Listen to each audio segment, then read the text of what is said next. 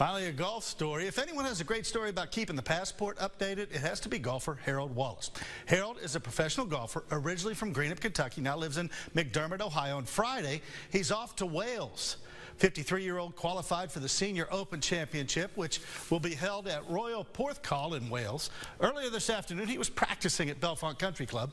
Harold's coming off a closing round 63 at Firestone, which turned out to be a course record.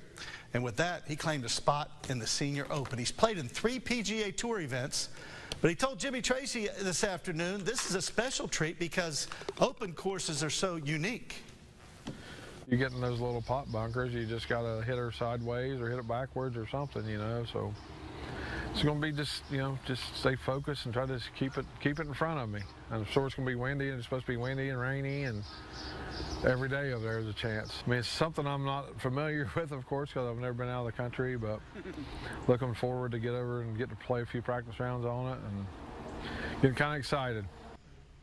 All right, so to wrap up I'd that say. passport story, the reason he has a passport but hasn't been out of the country is another golfer, Bob May, who almost beat Tiger Woods in the PGA title years yeah, ago, yeah.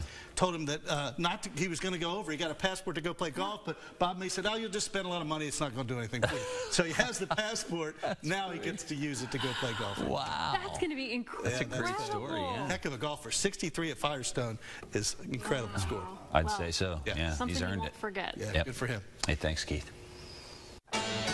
Hey, Harold, put the shorts away and bring the Gore-Tex when you play over in the British Isles, right? Uh, we've got some severe storms that are trying to form in central, interior southern Ohio right now. The lead cell is now crossed out of the Big Bend of Mason and Meigs and now is into northern Jackson County. Ravenswood, Ripley, here shortly, Ripley, here comes a good rush of wind, rain, maybe even some hail and some lightning strikes. And over toward the fairgrounds in Wellston, I'm concerned about these storms that are forming in Jackson up toward Ross counties and Vinton County. These have the markers of some heavy weather. We'll keep you posted on the opportunity for some severe weather. Most of us will wait for the sun to go down, guys, which means there's some good outdoor activity hours to be had here. But oh, off good. to the north, the kids are inside as these storms are on the prowl. Yeah, that's smart. Better safe than sorry. Yes, something to keep an eye on.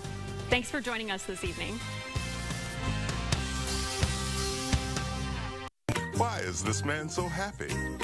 He's got advantage checking from Community Trust Bank. CTB's got him covered with credit monitoring and identity theft protection, cellular phone replacement and repair, roadside assistance service,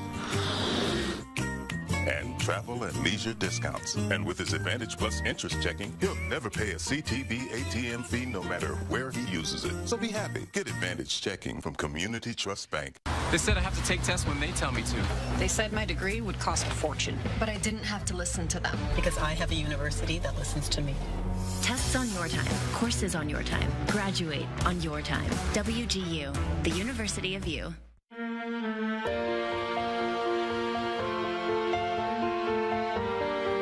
Can't